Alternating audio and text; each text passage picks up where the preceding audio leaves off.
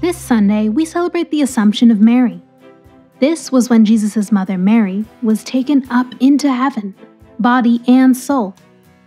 It's a lot like the feast of the Ascension, when Jesus rose into heaven. The difference is that Jesus did this through his own power, through God's power. Mary didn't rise through her own power, but was taken up by God Himself.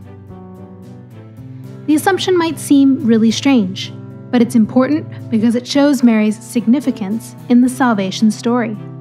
After she said yes to God at the Annunciation, Jesus was conceived within her. Then she was with him through his childhood, adulthood, and his passion. Mary was the first disciple.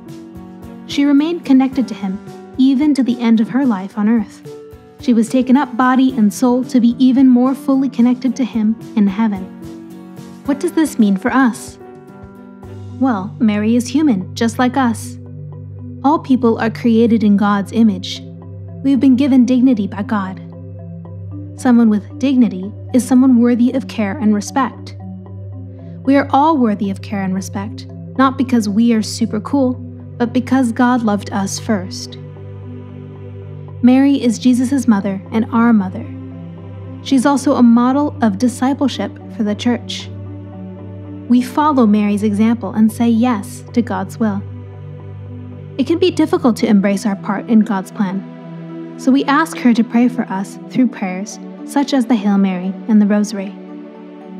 Finally, Mary shows the end of our journey of faith.